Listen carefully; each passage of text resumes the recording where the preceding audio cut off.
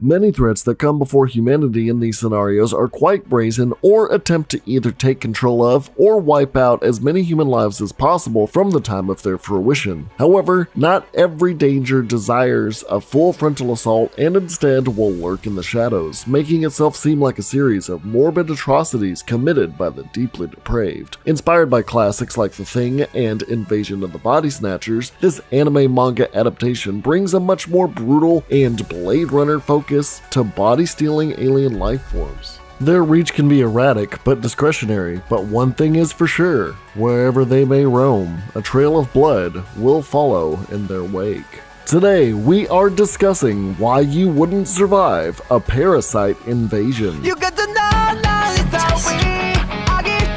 答えは簡単だよ地球にとって人間が毒となり中和剤が必要になった もうしばらくしたら人間全体が気づくはずだ。人間の数をすぐにも減らさねばならんということ人間に寄生し生物全体のバランスを保つ役割を担う我々から比べれば人間どもこそ地球を蝕む寄生虫！Stemming from origins unknown from the deepest reaches of space, green egg like spores descend upon the Earth's surface by untold numbers being carried by the winds. Cracking open, do these spores give birth to larval, parasitic like worms that will immediately seek out the nearest intelligent life form before it dies when exposed directly to the air. Once this larva detects an organism, will it immediately attack them, trying to enter through any orifice of the head in an attempt to invade the victim's brain. If that that fails, it will simply use its drill-like head to burrow through a victim's flesh to invade the bloodstream to carry itself to the victim's brain. Once this is achieved, the parasite will eat through the gray matter of the person or animal till nothing is left inside of the head as it effectively fuses with the flesh and bone of the cranium. From there, it will take full control of the victim's body, with the original consciousness of the person completely erased, with the newly restructured head acting as the new body for the parasite, as it feeds on the internal processes such as blood flow and digestion of the rest of the body to stay alive. Although if the parasite is unable to reach the brain via the bloodstream due to it being cut off from accessing it, it will simply hijack the closest body part, as was the case for Migi when taking over the right hand of his owner or jaw, well, taking over his host's jaw. Think of these parasites much like the Cymothoa exigua, aka the tongue-eating louse, the parasite that eats the tongue of a fish then transforms its own body to replace the tongue, effectively becoming a new tongue that benefits from anything the fish consumes, all while the fish itself remains alive and relatively unharmed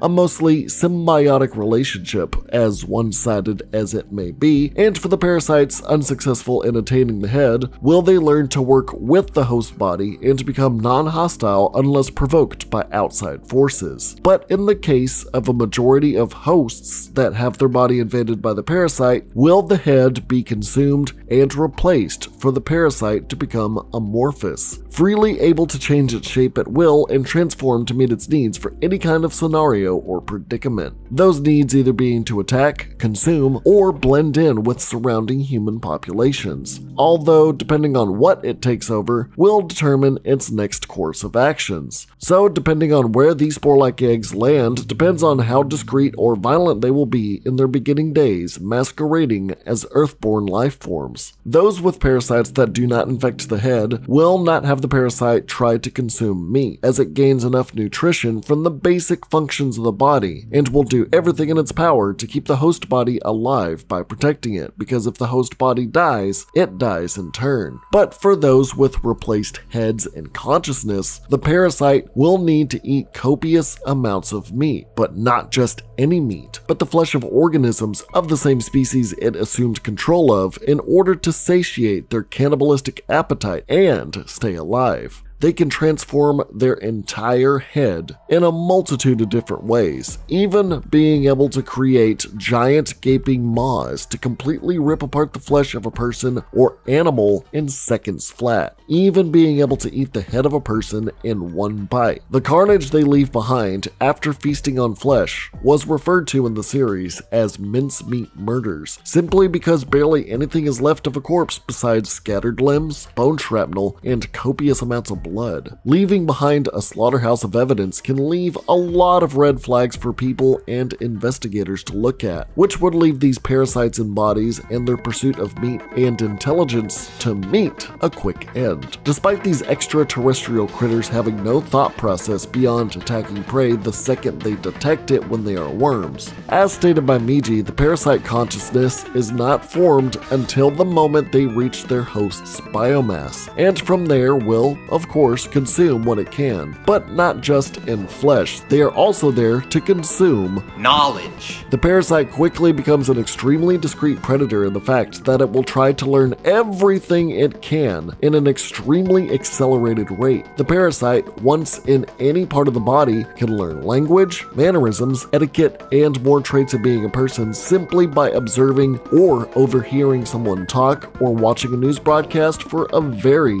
brief period of time. They can actively seek out books, research articles, and browse the internet to learn more about just about everything on Earth, from human culture to the sciences, just to become more acclimated and knowledgeable of their environment in order to blend in. Creepily enough, even just having eaten a father of a homestead did a parasite overhear the young daughter speak as he learned the Japanese language in an instant. Traits like this allow monsters to be among us luring people in unsuspected of the demonic devouring presence that can eviscerate them in seconds. That or leave people paranoid as this parasite can retain the memories of the host it assumed control of, meaning, much like the Thing or Invasion of the Body Snatchers, anyone could be a threat at any moment. Some parasites even being able to learn to become academic scholar levels of intelligence to meet their host's lifestyle to avoid detection, meaning any level of intellect can be achieved given even a short amount of time. If the identity of the person's face they're using is tied to a crime or suspected of anything, the parasite can observe other humans directly via pictures, television, or computers and change their facial structure and hair to match that of a person, and even change their vocal patterns to sound like them, being easily able to change their persona on the fly to further avoid detection just by observing something is incredibly insane in the way that they can push forward in their espionage for consuming people or attacking them. The only way of detecting them once they have fully assimilated into society and the mass population is by having x rays at checkpoints to scan the innards of every single human civilian, or even animals. Since the parasite completely replaces everything that it assimilates with, x ray scans of body parts or heads will simply show up as void.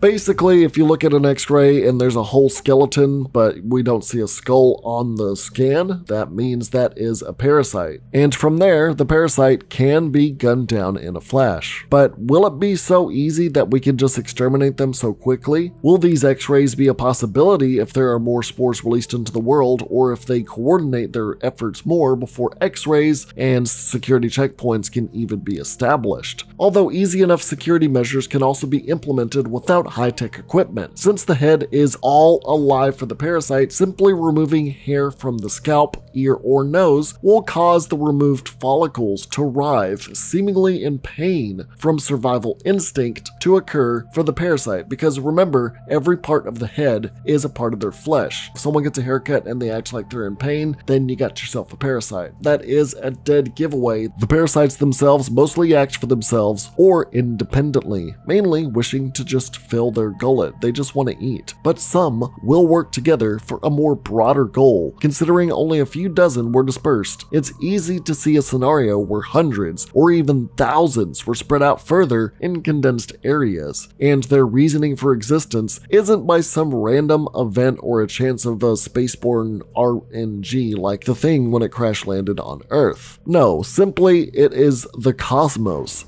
giving an answer to humanity as it is basically a toxin on the Earth's surface. That is the purpose behind the parasites. They are acting as antibodies, neutralizers to the toxic presence of mankind. Now you might be thinking, oh, this is just wow, such gaming trying to be philosophical. No, this is what some of the parasites actually believe. That's just a few of them. But what if each one born into our world met with this ideological way of thinking above just consumption? Well, let's just say it would be a way more grim fate of coordinated attacks that could easily happen. They would have a goal of wiping out mankind versus just eating a few people.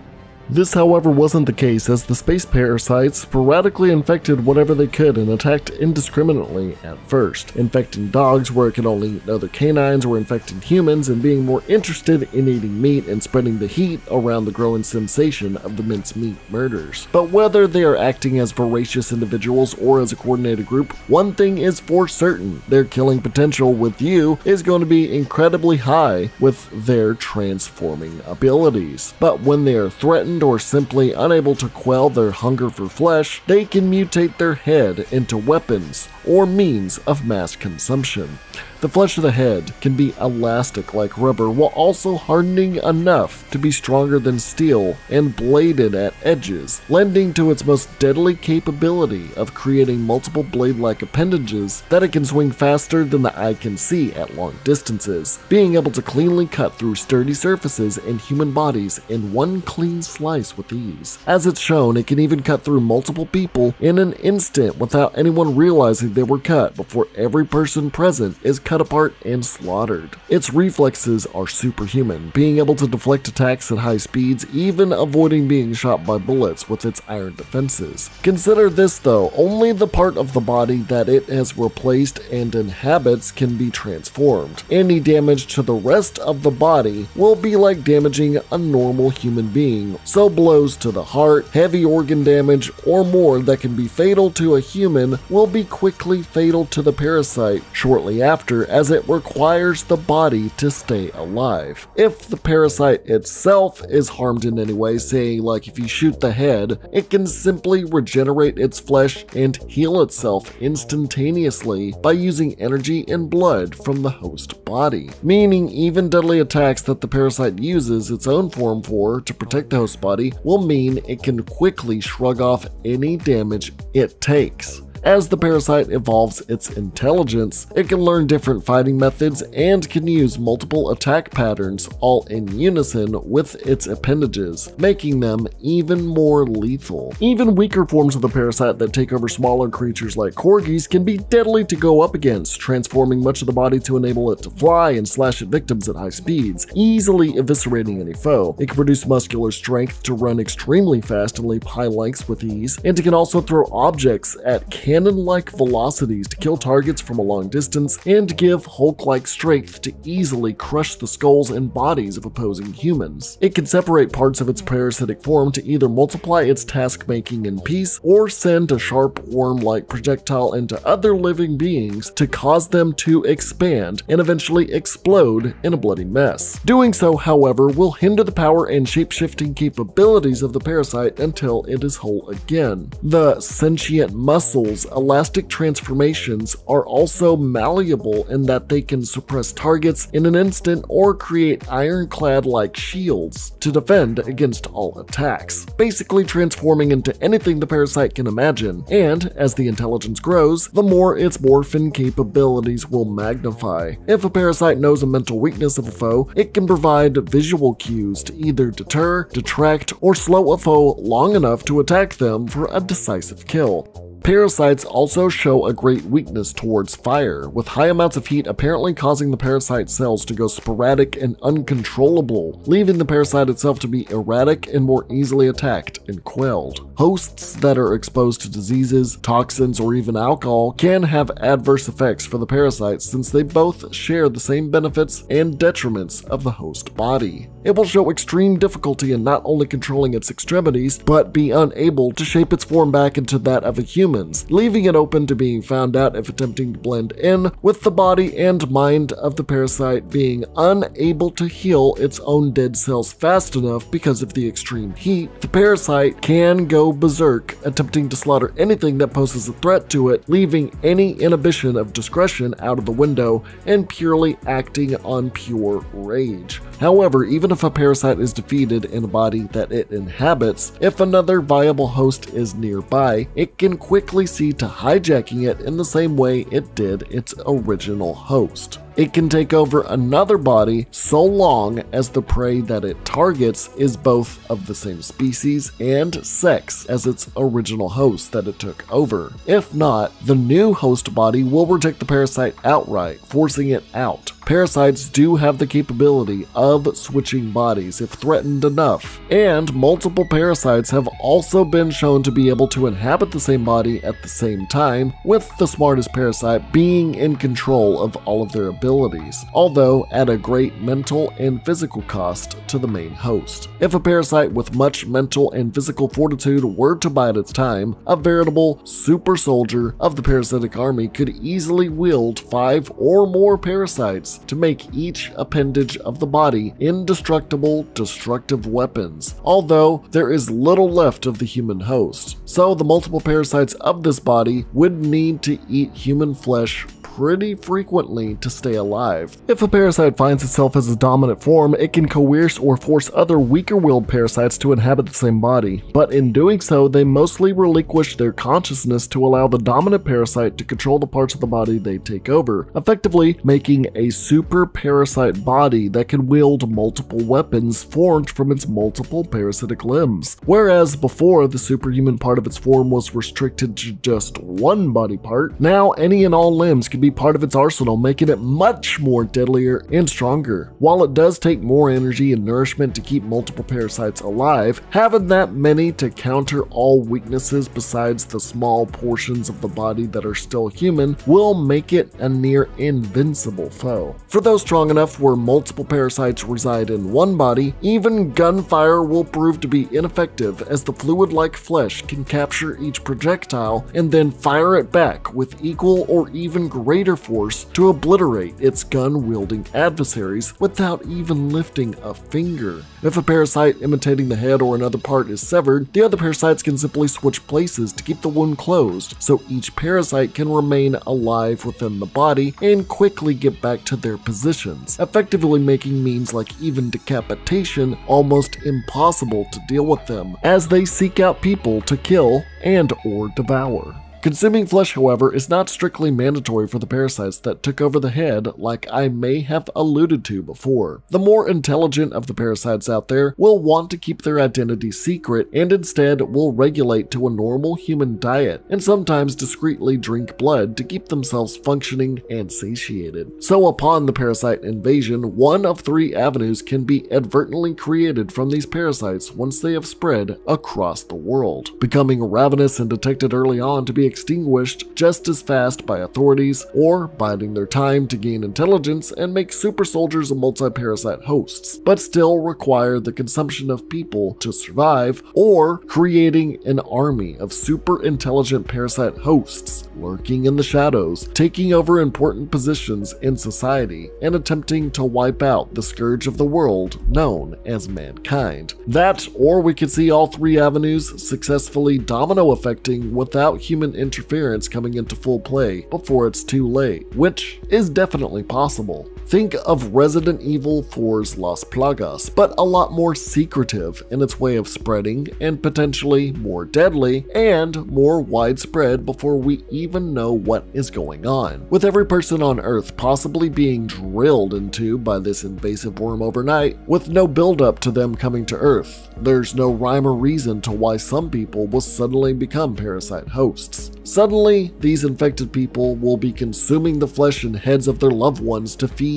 and transforming into the personas of others and learning how to be human and feigning emotions to walk out of any situation without being suspected. It's possible that you won't even survive the initial invasion. You could be among those that were asleep that were completely consumed in an instant. Or you could be one of those living with a parasite host that is completely obliterated by them and either sliced into ribbons or your entire body eaten like a bloody buffet. You could provoke a parasitic host and be killed in an instant with any witness nearby being included in the same body count as you. Super soldiers could be established and rip through entire populations, or if discreet, these parasites that view humanity as a disease could do any number of things to society's detriment. They have the intelligence to know how to really bring down mankind, even possibly taking the identity identity of high profile figures like politicians, celebrities, or dare I say, internet influencers so they can sway the opinions of the public to work in their favor or neutralize any programs or widespread efforts to oust them or kill them and turn things against humans at the smaller and then eventually wider scale. You could be one of the lucky few that has a parasite unsuccessfully not take over the human brain and instead a part of your body. But even then, a range of events could happen to you that could lead to your swift demise. Sure, it could be friggin' sweet to have an appendage of yours have superpowers and establishing a symbiotic relationship with an alien inside your body. It might seem cool, but each parasite can be built differently and think differently. Parasites will do everything in their power from the get-go to protect their host body, even if they don't directly control all of it. For those who work in a symbiotic relationship with their host, they can quickly look to healing any injury the host may suffer to their body, even fashioning functioning hearts and replacing the literal destroyed heart to keep blood pumping before the brain dies in a matter of seconds by fusing the parasite flesh with the body to reproduce vessels, arteries, and blood cells, and then eventually once enough blood cells have been produced, it can reproduce itself to be the arm again.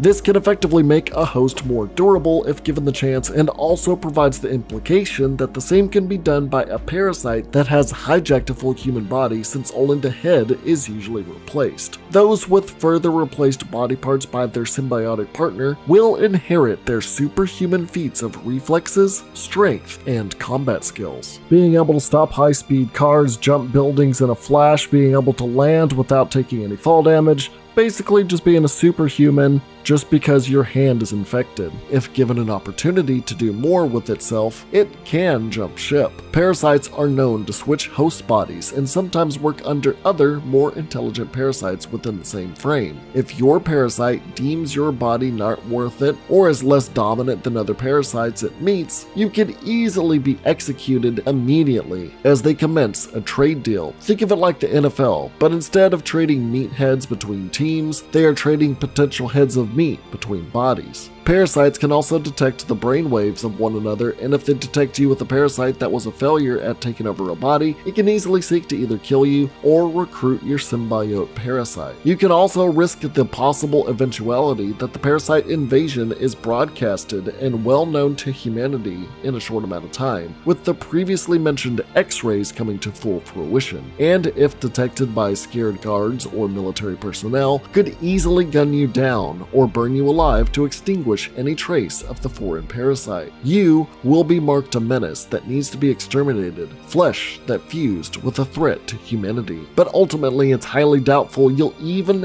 have a symbiotic relationship with the parasite, as a majority of the time they are successful in hijacking the brain and wiping out everything that made you you, including your head. And while this parasite isn't shown to reproduce in any way, it's possible it can learn to send out signals someday to send more of these spores to descend upon Earth. It can easily take over the personas of people more so than any other body snatching threat in fiction before it, as others could barely hold their own, but having a biomass that can create faster than lightning bladed weapons to slice through hordes of people and hard objects in an instant while compounding itself to become either stronger in one body or smarter in many bodies undetected, or can use many parasites in a body to make a basically what is a form of a tank. Let's just say the parasite has a lot of different avenues where it can discreetly take out mankind or come in full force. Let's just say the parasite will win before we even know the full scope of its threat, and while the last remaining few people even know what's going on, it's going to be too late. The parasites will have already done what they can to wipe us all out.